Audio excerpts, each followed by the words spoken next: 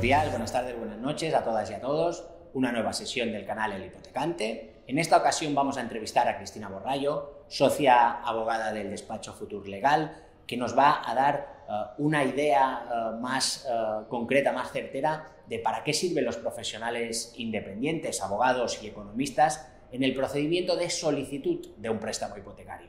Normalmente cuando nos enfrentamos a la compra de una vivienda y tenemos que pedir una hipoteca, pues eh, encontramos gestores inmobiliarios, eh, el gestor del propio banco, incluso podemos acudir a intermediarios de crédito inmobiliario.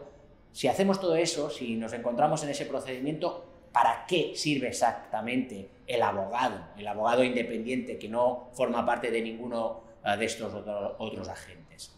Uh, Cristina, eh, como he comentado hace un momentito, ¿Para qué tiene que venir un usuario, un cliente que va a pedir una hipoteca a un despacho de abogados? ¿En qué le podemos ayudar a nivel inicial, a nivel de todo lo que es el procedimiento de solicitud de una hipoteca? Bueno, en primer lugar, muchas gracias Pau por invitarme a participar en tu canal y encantada de poder saludaros a todos y a todas los que nos estáis escuchando.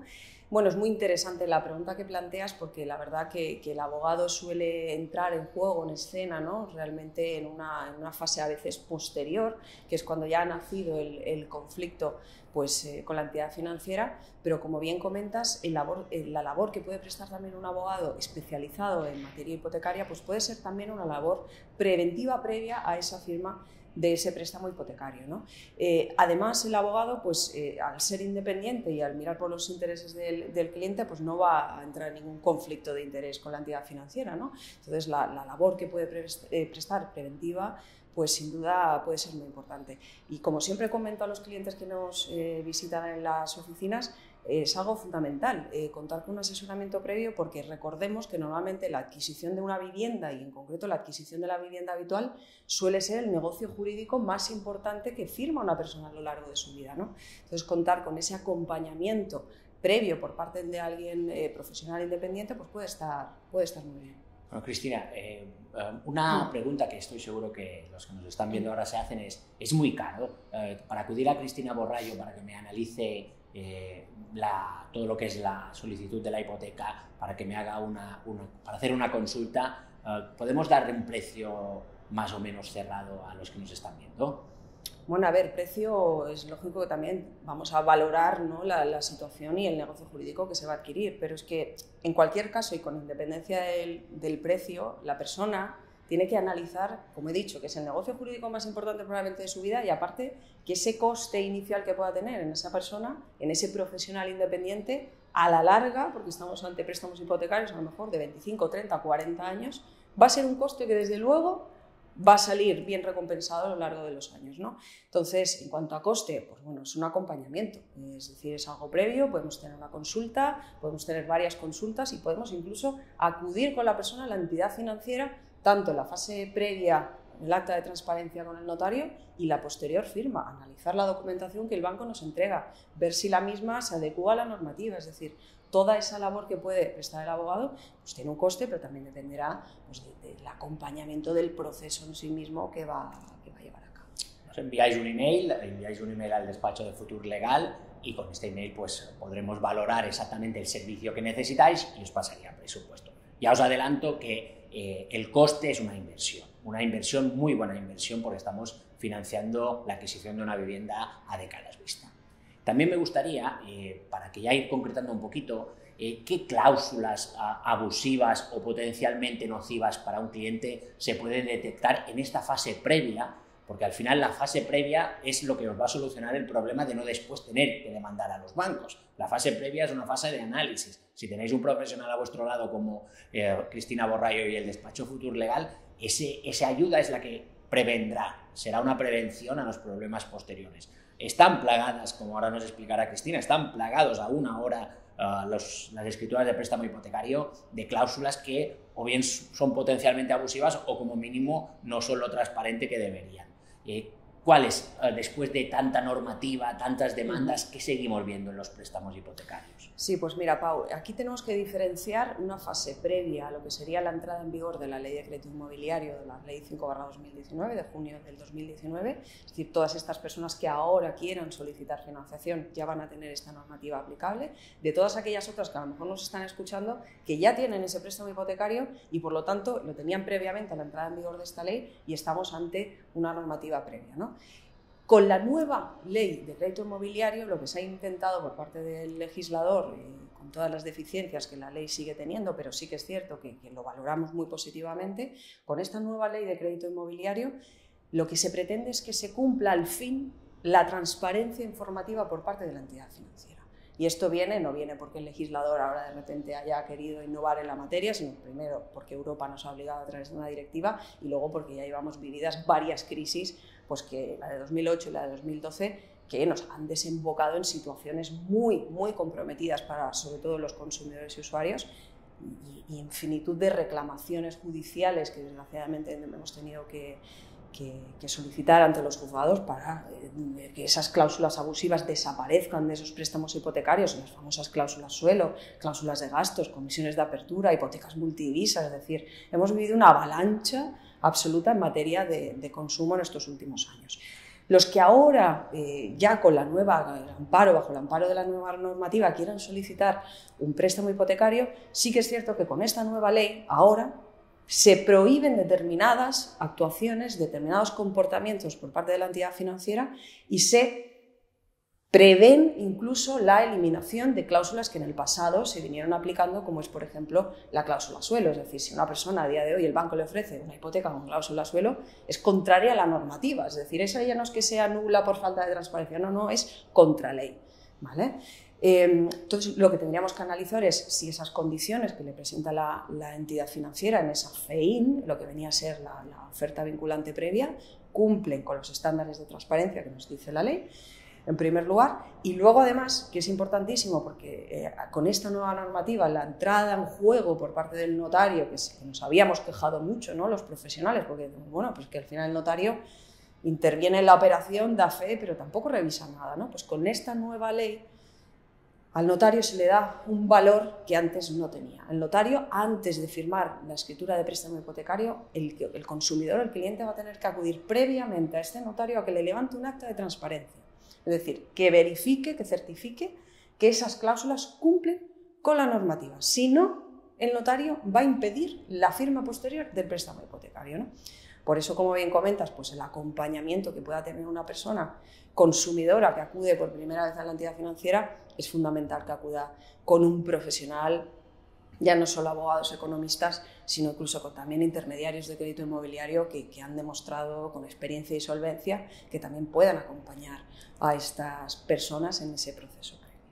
Vale, he entendido eh, que la Ley 5-2019 está supuestamente hecho, es una, una, transposición de una directiva europea del 2014, supuestamente está hecho para defender uh, los intereses del consumidor, para hacer que el sector uh, hipotecario sea más sano, sea más competitivo, porque cuando funciona la relación entre las entidades financieras y los clientes y hay una relación de, de, trato legítimo, de trato justo, funciona mejor la banca y funciona mejor la financiación.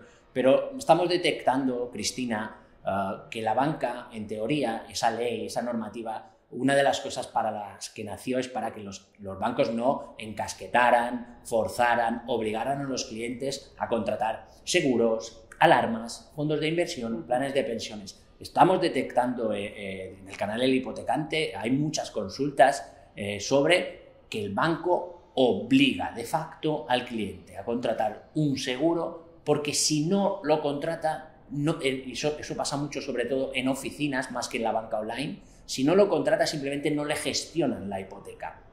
¿Cómo puede un cliente y cómo puede ayudarle un abogado uh, a eh, gestionar ese problema de que el banco, incumpliendo la ley, le está obligando a contratar productos que no quiere?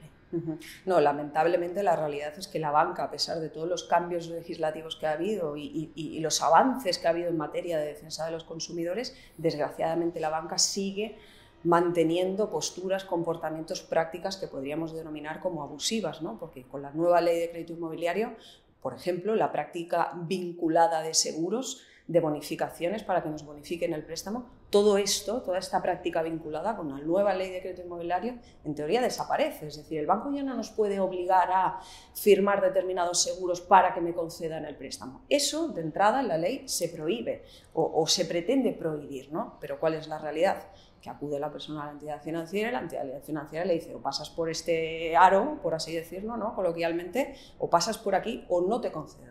Por lo tanto, como, te estaba comentando Pau, con la nueva normativa en la mano, todas estas prácticas que podríamos decir, denominar abusivas, de vincular al cliente con la contratación de todos esos productos como requisito previo para concedernos el préstamo, con la nueva ley de crédito inmobiliario traspuesta por la directiva, todas estas prácticas deberían desaparecer. Pero la realidad sigue siendo, desgraciadamente, eh, las personas que te acuden al canal, pero incluso las que siguen acudiendo a nosotros como despacho de abogados, nos siguen manifestando esta situación. Por tanto, ¿qué consejo? Bueno, pues como has comentado, ir acompañado, porque por ejemplo, pues en la suscripción de determinados seguros, el cliente a veces no sabe que tiene un derecho de desistimiento en el plazo de 30 días y que lo puede ejercitar, por ejemplo. Es decir, oye, me obligan a contratar este seguro, bueno, pues contrata el seguro, pero posteriormente desiste del contrato porque la ley de crédito del seguro te lo permite. Es decir, el ir acompañado de alguien, no ir solo, porque eso, el, ir solo a la entidad financiera ha demostrado que es un desastre, porque el consumidor, pues desgraciadamente, no tenemos o no, hemos tenido en el pasado la suficiente cultura y educación financiera, y lo que está claro que en manos de la banca eh, solos no podemos estar.